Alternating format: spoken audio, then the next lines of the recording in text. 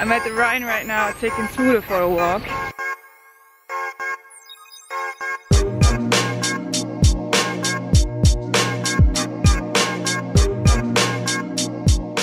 After I'm done with walking Smudo, I will drive to Düsseldorf to see a former client of mine. He has a tattoo studio.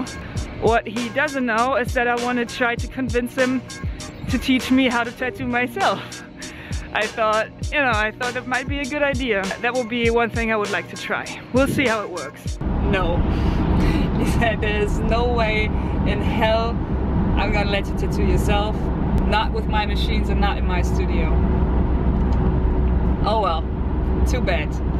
So I'm heading back to the shop now and I want to show you what I'm working on. It's a camera slide I made from scratch. Um, pretty cool project. I'm not going to show you the final result because I don't want to spoil Sunday's video.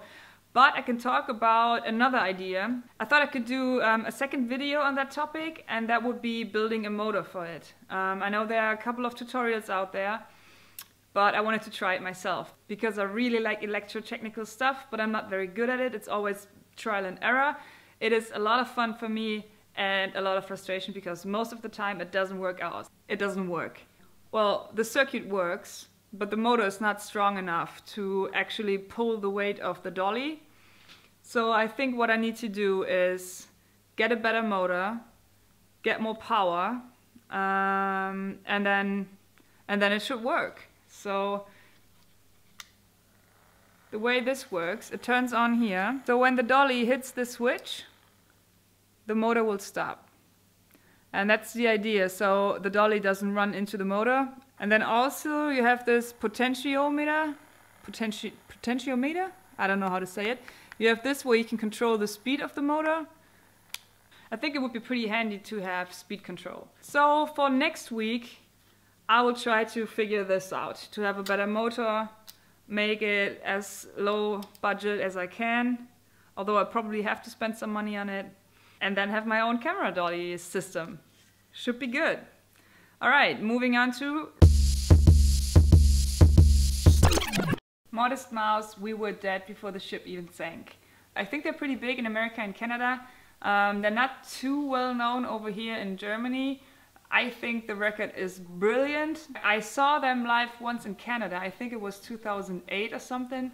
And I almost saw them live in 2007. They were supposed to play at the Hurricane Festival, but they cancelled one day before because the singer got in a fight with a fan in Cologne. I think I think the fan punched him in the eye and the eye was bleeding internally or something. I saw a picture and his complete eye was black. It, it looked awful. So yeah, I only saw them once in Canada. Um, Dashboard is the big hit on this record. It's a great song, but it's not in my top three. My top three are Fire It Up, um, Missed the Boat and March into the Sea. Very cool record, very good shop music, uh, very motivating. It's a bit weird, but I really like it. So let me know what you think about this record. Question of the week. It's from Make It Mazio. I hope I pronounced it right. Um, and he asked me, if you had the time, money and space, what dream project would you want to make? First of all, I'm pretty happy where I am right now.